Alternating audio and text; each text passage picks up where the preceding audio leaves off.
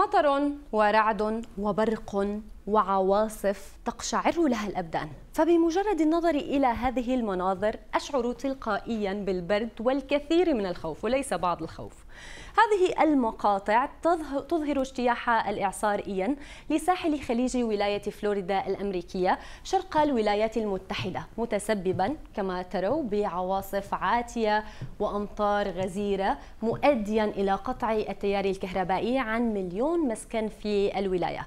ووصل الإعصار الخطير للغاية. إلى اليابسة غرب فلوريدا ترافقه رياح عاتية بلغت سرعتها 240 كيلومترا في الساعة. الإعصار تحول إلى إعصار من الفئة الرابعة وتسبب بانقطاع في الكهرباء.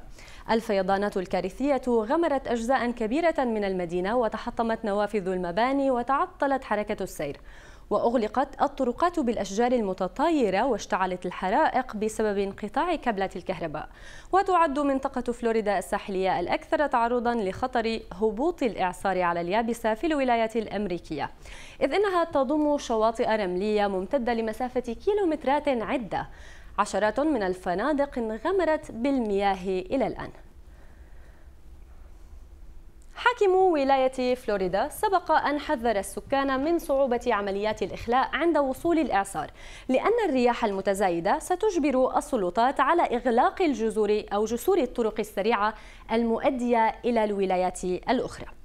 عمليا تم تعليق الدراسة في نحو 60 مؤسسة تعليمية في الولاية كما أبلغت شركات طيران عن إلغاء أكثر من 2000 رحلة بسبب الأحوال الجوية.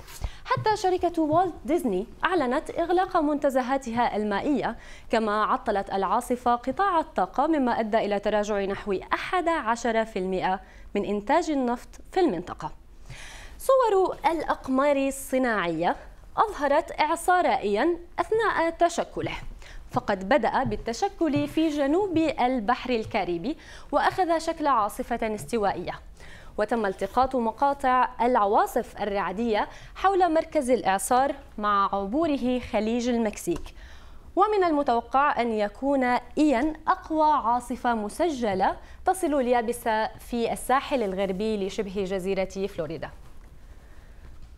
بعض الأشخاص اختاروا عدم اتباع أوامر الإخلاء وباتوا عالقين بسبب صعوبة وصول خدمات الطوارئ إليهم. جو بايدن أعلن حالة الطوارئ في فلوريدا وطالب وزارة الأمن الداخلي والوكالة الفيدرالية لإدارة الطوارئ بتنسيق جهود الإغاثة. كما أجل رحلة كانت مقررة له إلى فلوريدا بسبب العاصفة.